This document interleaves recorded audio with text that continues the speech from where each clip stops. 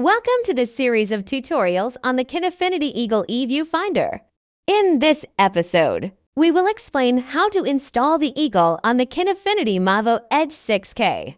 First, locate a suitable 1 quarter threaded hole on the left side of the camera or kit. Secure the camera end of the mini mount to the camera or kit using a 1 quarter screw.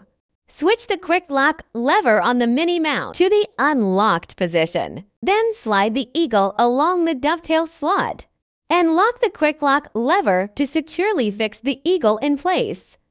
Connect the power and SDI signal cords to the eagle.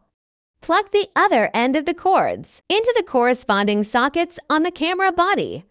Adjust the angle of the eagle to a comfortable position, and the installation is complete. Thank you for watching this series of tutorials on the Kinefinity Eagle eViewfinder.